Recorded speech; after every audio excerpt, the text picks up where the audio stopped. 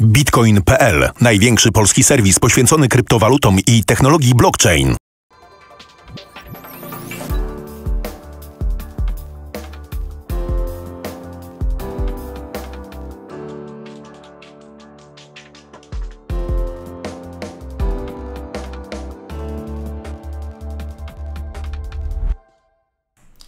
Cześć, witam Was bardzo serdecznie w kolejnym odcinku analizy rynków. Rynków, które to Wy zaproponowaliście w komentarzach pod naszymi ubiegłotygodniowymi materiałami. Tak więc jeżeli już teraz chcielibyście, abym w przyszłym tygodniu przyjrzał się notowaniom jakichś konkretnych coinów, to dajcie proszę znać w komentarzu pod tym dzisiejszym odcinkiem.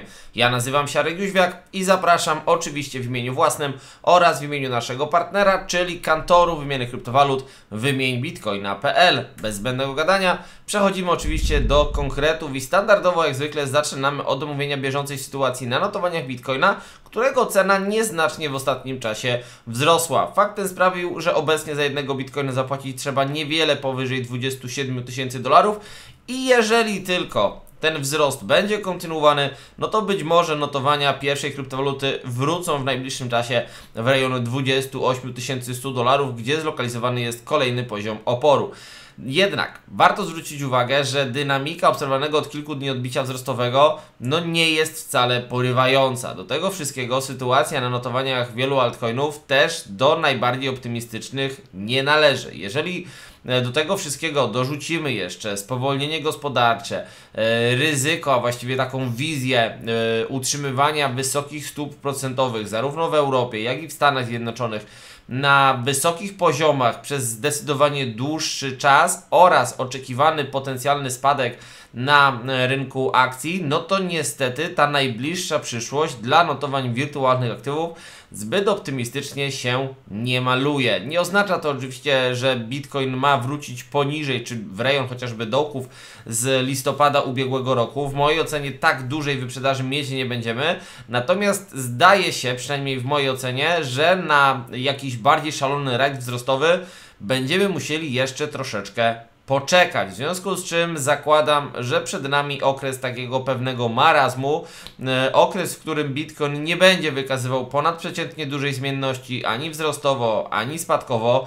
Okres, w którym w końcu notowania BTC mogą utknąć w jakimś zakresie. Jeżeli tak się stanie, to stawiałbym, że będzie to raczej szerszy niż węższy zakres, na przykład przedział pomiędzy 25 a 28 tysięcy dolarów. Teoretycznie 3000 dolarów, czy ponad 3000 dolarów różnicy pomiędzy wsparciem a oporem, natomiast widać, że utrzymujemy się w takim przedziale już od połowy sierpnia. My mamy teraz połowę września, więc już od ponad miesiąca tak naprawdę Bitcoin w takim zakresie nam tkwi. I wydaje mi się, że w najbliższym czasie możemy jednak tego zakresu zbyt łatwo nie opuścić ani dołem, ani górą. Więc y, pomiędzy oczywiście jakieś poszczególne mniejsze ruchy wzrostowe czy później spadkowe jak najbardziej będą się zapewne pojawiać. Natomiast zdaje się, że na wybicie ponad 28 100 dolarów będziemy musieli poczekać nieco dłużej niż byśmy sobie tego e, życzyli. No i jest ryzyko, że ten wzrost, który obecnie obserwujemy, do takiego wybicia powyżej tego poru wcale nie doprowadzi. Być może zbliżymy się do tego poru, ale jego wybicie naprawdę nie jest dzisiaj aż tak e, pewne. Szczególnie jeżeli porównamy sobie sytuację na Bitcoinie z sytuacją na notowaniach wielu innych projektów. Tu mamy chociażby Ethereum, no i w przypadku Ethereum możemy oczywiście, gdybyśmy byli hurra optymistyczni, taki tacy wiecie, mega entuzjaści, którzy prognozują tylko i wyłącznie jeden kierunek wzrostowy, no to oczywiście patrząc na Ethereum jestem w stanie dostrzec prowzrostową formację odwróconej głowy z ramionami. W tej nazwie zabrakło tylko jednego słowa. Potencjalną prowzrostową formację odwróconej głowy z ramionami, która jeszcze nie została potwierdzona. Chodzi oczywiście o układ, który wyznaczałby nam ten dołek jako lewe ramię, ten dołek jako głowę, ten dołek jako prawe ramię. Z kolei opór w rejonie mniej więcej 1655 dolarów, który był tutaj testowany wraz z początkiem tygodnia, wyznacza linię szyi tejże formacji. I bardzo ważne jest to, żeby wiedzieć, że sama formacja, tak jak tutaj ona jest, nie została potwierdzona. To jest czysto hipotetyczny układ, który może się zmaterializować, ale do potwierdzenia formacji, czy to głowy z ramionami, czy w tym przypadku odwróconej głowy z ramionami, konieczne jest wybicie linii szyi, czyli w tym przypadku wzrost ponad granicę 1655 dolarów. Dopóki to się nie wydarzy, to cały układ jest tylko i wyłącznie hipotetyczną formacją, której potencjalny zasięg wzrostowy oczywiście mógłby napędzać rajd, czy to w kierunku 1710 albo nawet 1790 dolarów. Na tym etapie jednak no nie wygląda to szczególnie dobrze. No, biorąc pod uwagę chociażby reakcje podażowe, które pojawiły się już w miniony weekend i reakcje podażowe, które obserwujemy od początku tygodnia. Wiem, w poniedziałek mieliśmy wzrost, no ale co to jest za wzrost? Niespełna 1, e, niespełna 1%, właściwie nawet nie 0,9%, więc bardzo, bardzo niewiele, a całkiem spory górnych not przy tym wszystkim. Wczoraj wzrost o z, tak naprawdę nawet nie 0,5% i też całkiem spory knot. Dziś o poranku mamy e, spadek, więc dopiero wyjście powyżej granicy 1655 dolarów w mojej cenie moglibyśmy postrzegać jako jakiś sygnał taki wzrostowy, bardziej optymistyczny. Na ten moment e, skupiałbym się na dwóch poziomach, czyli bariera 1620 i 1655 dolarów. Wiem, że zakres między jednym a drugim jest bardzo, bardzo niewielki, no ale jest to zakres wewnątrz którego kurs ETH utrzymuje się już od ubiegłego czwartku. Zakładam, że w najbliższym czasie możemy jeszcze takim ruchem bocznym się tutaj e, poruszać w tym wąskim zakresie. Natomiast jest to tak wąski zakres, że nie nastawiałbym się na to, że e- Ethereum utrzyma się w tym zakresie na przykład przez miesiąc czy przez dwa. Prawdopodobnie ze względu na bardzo wąską strukturę tej formacji, tego układu, wybijemy zdecydowanie, zdecydowanie szybciej. Pytanie tylko w którą stronę, bo ja na ten moment, oczywiście patrząc na układ e, odwróconej głowy z ramionami, chciałbym wierzyć w wybicie górą i rajd wzrostowy dalej. Natomiast patrząc na to, co dzieje się na szerokim rynku kryptowalut, jestem coraz bardziej sceptyczny wobec takiego scenariusza i coraz bliżej jest mi do tego, żeby oczekiwać, a nawet jeżeli nie oczekiwać, to przynajmniej być gotowym na możliwość spadku kursu ETH poniżej granicy 1620 dolarów, co z kolei mogłoby napędzać spadek, czy to w kierunku tych ostatnich dołków z września, czyli powiedzmy 1550, albo nawet dalej 1500 dolarów, więc w mojej ocenie jest całkiem spore, realne ryzyko, że możemy z tego zakresu wybić dołem, negując tym samym całościowo w potencjalną formację odwróconej głowy e, z ramionami. Ok, przechodzimy dalej. A, jeszcze taki mały disclaimer, bo teraz e, skupimy się na rynkach, które to Wy oczywiście zaproponowaliście. To nie jest tak, że wszystkie projekty wyglądają tak fatalnie. Będzie dzisiaj projekt, który naprawdę imponuje skalą wzrostów, ale spokojnie, poczekacie, za chwileczkę zobaczycie.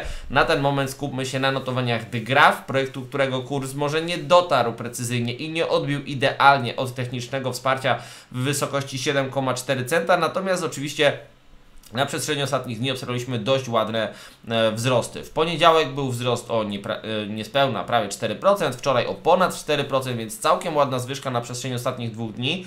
Dziś o poranku oczywiście obserwujemy jakiś e, spadek, natomiast oczywiście to nie oznacza, że te wzrosty już się zakończyły. Być może będą one jeszcze kontynuowane, natomiast potencjalny zasięg dla dalszej zwyżki jest w tym przypadku dość mocno ograniczony, bowiem obecnie mamy wycenę nieco poniżej granicy 9 centów a ja mam opór wysokości 9,6 dokładnie 0,0965, poziom wyznaczony na podstawie wierzchołków z końca stycznia tego roku i dołków z połowy czerwca tego roku. Oczywiście ta bariera jeszcze tu po wybiciu, e, czyli w drugiej połowie sierpnia też była testowana jako opór, więc to jest bardzo, bardzo fajny punkt odniesienia, na który w mojej cenie w przypadku Degraf warto będzie w najbliższym czasie spoglądać. Natomiast jakieś reakcje podażowe mogą powrócić, czy zainicjować nam kolejny rajd e, spadkowy. Dość podobnie zaczyna wyglądać sytuacja na notowaniach e, Arbitrum. W tym przypadku oczywiście wzrost obserwujemy od 12 września. W poniedziałek mieliśmy zwyżkę o 3,5%, wczoraj było to ponad 5%. O poranku mamy niewielkie e, spowolnienie teoretycznie moglibyśmy wyznaczyć w tym miejscu lokalny poziom oporu. Tu był testowany jako wsparcie, tu jest testowany jako opór i oczywiście taką strefę jak najbardziej można na wykresie sobie wyznaczyć. W mojej ocenie nieco symbolicznie tylko, ale jednak nieco ważniejszy będzie pułap zlokalizowany nieco wyżej, czyli granicę 93 centów. Jest to poziom, który testowany był w czerwcu, testowany był w sierpniu, no i później po wybiciu na początku września był testowany od dołu, a więc jako opór. Natomiast ogólnie rzecz biorąc, patrząc sobie na arbitrum tak z nieco szerszej perspektywy, no to trzeba zwrócić uwagę, że my tutaj mamy tendencję spadkową. Trend nie uległ w żadnej chwili zmianie, dalej obserwujemy spadki. Taki trend jest obserwowany od połowy kwietnia. Jesteśmy na najniższych poziomach w historii. Ok, tu byliśmy niżej, no to faktycznie kilka dni temu byliśmy niżej, ale co do zasady co do zasady jesteśmy naprawdę bardzo, bardzo nisko, tylko że nawet jest takie giełdowe powiedzenie, że nic nie jest tak tanie, żeby nie mogło być tańsze, więc to, że tu było tanio, to nie oznacza, że zaraz nie będzie jeszcze taniej. Oczywiście, że taniej jeszcze może być. E, szczególnie, że e, dynamika tego odbicia wzrostowego obserwowanego na przestrzeni ostatnich dni no nie jest porywająca. Nie jest porywająca, bo my tutaj obserwujemy wzrost już od ilu? Dziewiątą sesję, jeżeli tak na szybko dobrze patrzę, dzisiaj a nie zanegowaliśmy nawet dwusesyjnych e, spadków z 10 i 11 września, więc to idealnie pokazuje, że momentum tego wzrostu jest raczej nieduże i ciężko jest na obecnym etapie, kiedy żaden ważny poziom oporu nie został jeszcze pokonany, prognozować powrót, właściwie w ogóle pojawienie się jakiegoś trendu wzrostowego. Powrót by było chyba nadużyciem, bo tu nigdy nie mieliśmy wielkiego, szalonego rajdu wzrostowego, więc no na ten moment też myślę, że mm, czegoś takiego raczej ja osobiście bym nie zakładał.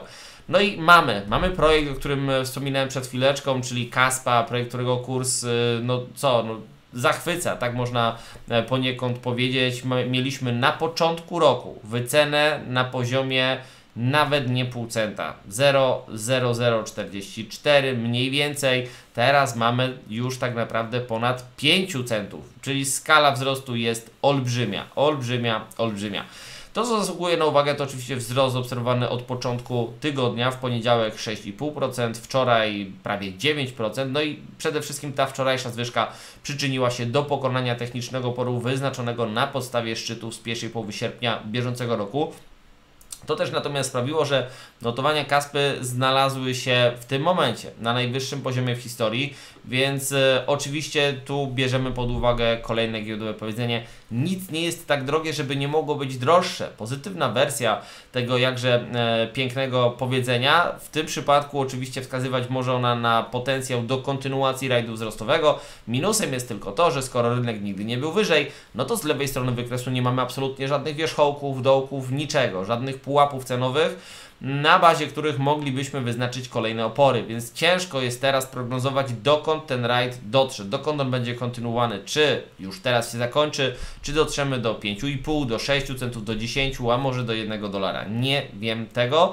No i analiza techniczna tak naprawdę sprawia, że niemożliwe jest wyznaczenie takich zakresów. Natomiast na ten moment sytuacja jednak bądź co bądź wygląda całkiem zdrowo. Wzrosty jak są, to są bardziej dynamiczne, spadki jak są, to są mniej dynamiczne, więc bardzo ładny układ, bardzo fajne formacje i nie zdziwię się wcale, jeżeli tutaj jeszcze wzrost będzie kontynuowany, ale dokąd, tak jak mówię, ciężko mi osobiście tutaj e, powiedzieć. No i tyle, jeżeli chodzi o optymizm. E, teraz zerknijmy na rzeczywisty optymizm, ale bez optymizmu.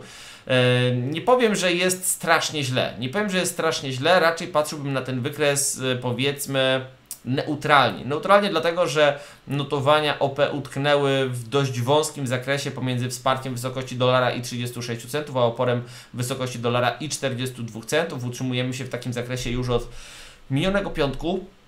No i tak naprawdę w mojej ocenie dopiero kierunkowe wybicie z tego zakresu mogłoby wskazywać przyszły kierunek ruchu. Przy czym, gdybym ja miał stawiać, nie powiem, że jest równo 50 na 50. Nieco większe szanse w mojej ocenie są ku temu, żeby rynek wybił jednak dołem i powrócił na ścieżkę spadków, osuwając się w rejon dolara i 18 centów. Przemawia za tym przede wszystkim reakcja podażowa, właściwie przemawiają reakcje podażowe, no bo było ich kilka. Oczywiście mieliśmy spadki obserwowane w sobotę i w niedzielę, e, później w poniedziałek pierwotnie rynek próbował podbijać, ale to wszystko zostało zanegowane i to z nawiązką poniedziałkową sesję też zamknęliśmy pod kreską i do tego powstał nam bardzo duży górny knot. Wczorajszą sesję co prawda zamknęliśmy wzrostowo, no ale też powstał nam bardzo duży górny knot, to pokazuje, że presja podażowa na tym rynku w dalszym ciągu jest całkiem, całkiem spora. Dziś o poranku też obserwujemy spadek, więc no w mojej ocenie Oczywiście może dojść do wybicia górą, ale gdybym ja miał stawiać, to przynajmniej nieco większe szanse dawałbym na to,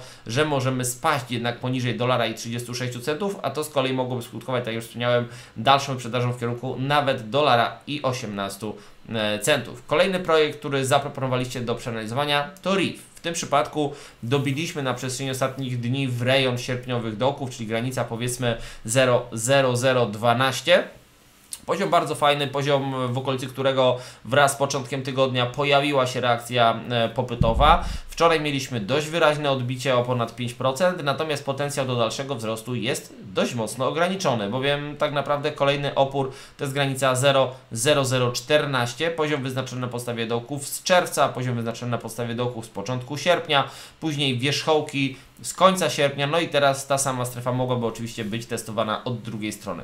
Gdybyśmy chcieli wybiegać nieco dalej w przyszłość, no to moglibyśmy tak naprawdę dopatrywać się tutaj i doszukiwać prospadkowej formacji głowy z ramionami, dla której to byłoby lewe ramię, tu byłaby głowa, tu oczywiście potencjalne prawe ramię, ale to jest pieśń przyszłości, bo żeby w ogóle taki układ mógł zaistnieć, musielibyśmy wybić linię szyi, czyli spaść poniżej technicznego wsparcia w wysokości ostatnich dołków, a więc 0, 0, 0, 12, 30, bo tak naprawdę to byłoby e, linią szyi dla tego układu, więc raczej nie skupiałbym się obecnie na takim scenariuszu, raczej jak już to jest czysta hipoteza, być może może nigdy do jej realizacji nie dojdzie. Jak dojdzie, to z pewnością Wam o tym wszystkim jeszcze opowiem. Teraz skupiam się na tym oporze. Jeżeli udałoby się wybić powyżej, nie mówię, że tak będzie, szanse nawet bym powiedział, że są mniejsze niż większe, ale gdyby tak było, no to kolejny opór mamy wyznaczony dopiero na podstawie szczytów z pierwszej połowy września, więc granica 0,0016. Ok, idziemy dalej do kolejnego projektu, który zaproponowaliście i jest nim Ethereum Classic. Notowania tej kryptowaluty odbiły no już kilka ładnych dni temu, bo 12 września od technicznego wsparcia w wysokości 14 dolarów i 70 centów. To był poziom, który testowany był chociażby w grudniu ubiegłego roku, testowany był e, także w czerwcu tego roku, testowany był w sierpniu, no i teraz oczywiście w pierwszej połowie września także. Gdyby ten rajd na północ był kontynuowany, no to w teorii moglibyśmy oczekiwać nawet powrotu w kierunku powiedzmy 16 dolarów i 71-72 centów. Jak najbardziej tak. Strefa bardzo, bardzo fajna. Niestety na przestrzeni ostatnich dni Ethereum Classic dość mocno nam wyhamowało. Jest to tendencja podobna do e, tak naprawdę tego, co widzimy na notowaniach wielu projektów, czyli gdzieś od powiedzmy piątku ubiegłego, soboty, jednak rynki zaczynają nam się, nie mówię, że wszystkie, ale w większości stabilizować, zaczyna pojawiać się jakaś większa presja podażowa i to stawia pod znakiem zapytania i to całkiem sporym, dalszy rajd na północ, nawet w kierunku tego najbliższego oporu. Pytanie, czy zaraz nie pojawi się jakaś reakcja podażowa, która będzie wystarczająca do tego, aby kurs Ethereum Classic powrócił w rejon 14 dolarów i 70 centów. Z kolei ewentualne zejście poniżej tej bariery mogłoby napędzać dalszy spadek nawet w kierunku 13 dolarów i 50 centów, czyli już naprawdę bardzo, bardzo nisko. No niestety, tak jak spojrzymy sobie nieco szerzej, tendencja na rynku jest spadkowa, żaden trend wzrostowy na ten moment nie został potwierdzony, no i wydaje się, że zbyt szybko ta tendencja zmianie nie ulegnie. Ok, lecimy dalej, zerknijmy na notowania Polki Dot, czyli projektu, który już no, od długiego, długiego czasu, bo od maja ubiegłego roku utrzymuje się wewnątrz formacji równoległego kanału spadkowego. Oczywiście to, co zasługuje na uwagę, to to, że rynek już nie spada w rejon dolnego ograniczenia tego e, zakresu, tylko tak jak w grudniu, z końcem grudnia, początkiem stycznia ustaliliśmy jakieś dołki, to teraz dopiero niedawno one zostały pokonane, ale też nie jakoś zauważalnie, choć patrząc nieco bliżej, Ciężko jest tak naprawdę znaleźć tutaj jakiekolwiek sensowne argumenty przemawiające na korzyść większego odbicia e, wzrostowego. Wręcz przeciwnie, mieliśmy spadek, mniejszą korektę, spadek, mniejszą korektę, spadek, mniejszą korektę. Zakładam, że możemy zatrzymać się z tymi wzrostami już tu i teraz czyli na poziomie 4,20 i wrócić na ścieżkę spadków, albo możemy ewentualnie podbijać gdzieś w kierunku 4,35, bądź w przypadku bardzo optymistycznego scenariusza do 4 dolarów i 45 centów, gdzie przebiega nam lokalna linia tendencji wzrostowej wyznaczana po dołkach z końca grudnia, połowie czerwca i drugiej połowie sierpnia bieżącego roku. Większych wzrostów na tym etapie bym nie zakładał, ba uważam, że nawet wzrost do 4,45 wydaje się jak na obecne realia rynkowe nad wyraz optymistyczny, więc e, szanse na tak spektakularny wzrost, spektakularny oczywiście w cudzysłowie, bo to nie byłoby niczym nadzwyczajnym, e, no tak naprawdę w mojej ocenie są raczej, e, raczej niewielkie i zwracam uwagę, że tu spadki mogą być jeszcze kontynuowane. Będzie mały problem, co prawda, z określeniem potencjalnego zasięgu, no bo gdybym chciał wskazywać poziomy, do których rynek może dotrzeć, no to jestem w stanie wyznaczyć dwa, tylko oba oddalone są naprawdę bardzo, bardzo mocno względem aktualnego kursu. Pierwszy to jest horyzontalny poziom, ale on wypada dopiero w rejonie 3 dolarów i 50 centów. Drugi to z kolei linia tendencji wyznaczająca dolne ograniczenie tego kanału, wewnątrz którego od y, ponad roku się utrzymujemy, no ale to wypadałoby dopiero gdzieś bliżej 1 dolara, więc już totalnie pieśń przyszłości. Mam nadzieję, że tam notowania Polki do nie dotrą, ale 3,50 daleko, choć tak naprawdę czy jest to zasięg niemożliwy? No zdaje się, że jak najbardziej, jak najbardziej e, możliwy do zrealizowania. Ok, przechodzimy dalej. W tym przypadku utrzymujemy się w takim powiedzmy trendzie bocznym od połowy sierpnia. Dolne ograniczenie wyznacza nam bardzo ładne wsparcie w wysokości nieco powyżej 0,3 centa 0,0032. Bariera, która była chwilowo lokalnie testowana jako opór z końcem czerwca tego roku, ale od połowy sierpnia bardzo ładnie spełniała swoją funkcję jako e, wsparcie. Górne ograniczenie wyznaczyłbym z kolei gdzieś na e, poziomie 0,4 centa, nieco ponad 0,0041. To jest bariera, która z kolei testowana była jako wsparcie już w maju ubiegłego roku. Później po wybiciu była kilkukrotnie testowana jako opór, następnie jako wsparcie i teraz znowu jako opór. Oczywiście, jak przybliżymy sobie tę sytuację, to zauważymy, że no, odbicie, które się tu na przestrzeni ostatnich dni pojawiło, jest więcej niż marne. Ono jest na tyle rozczarowujące, że w mojej ocenie no, nie przemawia na korzyść większego rajdu wzrostowego, wręcz przeciwnie, raczej jest to sygnał wskazujący na to, że strona popytowa, czyli kupujący, nie mają siły, aby przejąć kontrolę nad rynkiem, aby odbić od obecnie testowanego wsparcia, a to w naturalny sposób zwiększa ryzyko, e, że w najbliższym czasie może dojść do próby zejścia poniżej tego wsparcia, co w naturalny sposób mogłoby napędzać dalszy spadek. Za takim, a nie innym scenariuszem